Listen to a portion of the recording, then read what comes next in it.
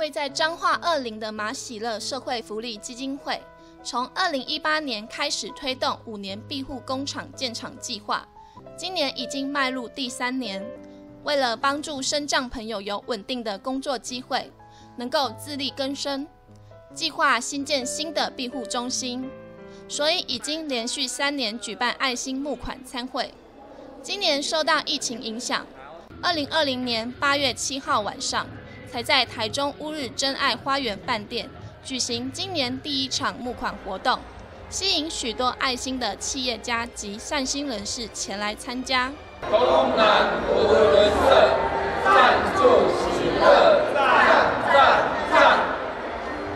喜乐保院服务的是呃身心障碍者大小孩子，这个是照顾服务。那我们想要为身障者走第二里路，就是希望能够给他鱼吃，不如教他如何钓鱼。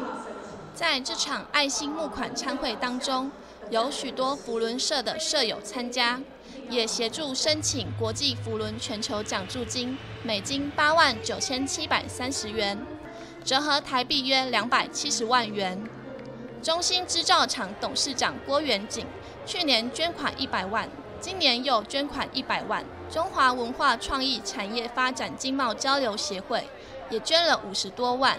希望帮助彰化县滨海五乡镇的一百五十位身障朋友，